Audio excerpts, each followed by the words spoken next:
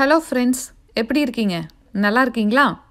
நம்ம எத்தனை தடவை தாபா ரெஸ்டாரண்ட்டில் போய் நான் சாப்பிட்ருப்போம் என்னமோ தந்தூரி அவன் இருந்தால் மட்டும்தான் நான் செய்ய முடியும் அப்படின்னு நம்ம மனசுக்குள்ளே நாமளே வந்து ஒரு முடிவு பண்ணிட்டோம்.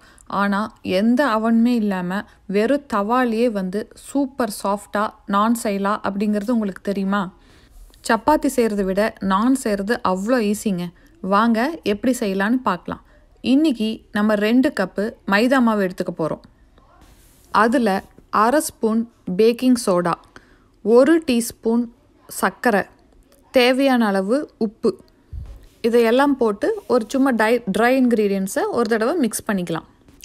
அதில் அரை கப்பு தயிர் ஊற்றிக்கலாம் ஒரு ரெண்டு மூணு டீஸ்பூன் வந்து எண்ணெய் ஊற்றிக்கலாங்க இன்றைக்கி என்னோடய சின்ன குட்டி விஸ்வா வந்து மிக்ஸ் பண்ணுறதுக்கு ஹெல்ப் பண்ண போகிறாப்புல இது வரைக்கும் போட்ட இன்க்ரீடியன்ஸ் எல்லாத்தையும் ஒரு நல்ல ஒரு கலக்கு கலக்கிக்கலாம்.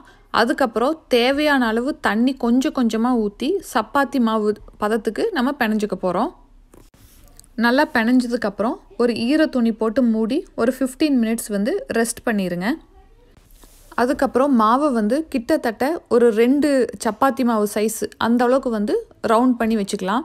உங்களுக்கு ஒட்டுற மாதிரி இருந்துச்சுன்னா கொஞ்சம் வரமாவு யூஸ் பண்ணிக்கோங்க. இப்போ ரெஸ்டாரண்ட்டில் வந்து எப்படி நான் வந்து கொஞ்சம் நீட்டமாக ஓவல் ஷேப்பில் கொடுப்பாங்களோ அந்த மாதிரி நீங்கள் ஓவல் ஷேப் வர மாதிரி நீங்கள் தேய்ச்சிக்கலாம். இல்லை நார்மலாக ரவுண்டாக வந்தால் கூட நீங்கள் கையில் எடுத்து ஒரு பக்கம் இழுத்து விட்டுக்கிட்டிங்கன்னா அந்த மாதிரி ஷேப் வந்துடும் இதை வந்து நீங்கள் கால் இன்ச்சு திக்னஸ் இருக்கிற மாதிரி தேய்ச்சிக்கிட்டா போதும். ஏன்னா சப்பாத்தியெல்லாம் ரொம்ப மெலிசாக தேய்க்கணும். இது வந்து அந்த மாதிரி தேய்க்க வேண்டியதில்லை. இப்போ ஒரு நல்ல இரும்பு தோசைக்கல்லை வந்து நீங்கள் இந்த நானை போட்டுருங்க. எந்த எண்ணெய் எதுவுமே யூஸ் பண்ண வேண்டியதில்லை. இப்போ நான் வந்து அடியில் சூடாக ஆக மேலே நிறைய ஏர் பாக்கெட்ஸ் ஃபார்ம் ஆகி மேலே வந்து மொட்லி மொட்லியாக இந்த மாதிரி வரும்.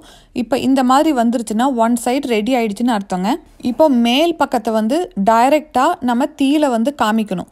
அதுக்கு வந்து உங்களுக்கு எப்படி இஷ்டமோ அந்த மாதிரி பண்ணுங்கள் என்கிட்ட இந்த மாதிரி ஓட்ட ஓட்டையாக இருக்கிற ஒரு இது இருக்குது ஸோ அதில் வந்து திருப்பி போட்டேன்னா அடியில் வந்து தணலில் காமிச்சு வெந்துடும் இப்போ உங்ககிட்ட இல்லை அப்படின்னா எக்ஸ்ட்ராவாக இந்த பாத்திரம் வைக்கிறக்கெல்லாம் ஒரு ஸ்டாண்ட் வச்சுருப்போம் இல்லைங்களா? அதை கூட நீங்கள் ஃப்ளேம் மேலே வச்சு அது மேலே போடலாம்.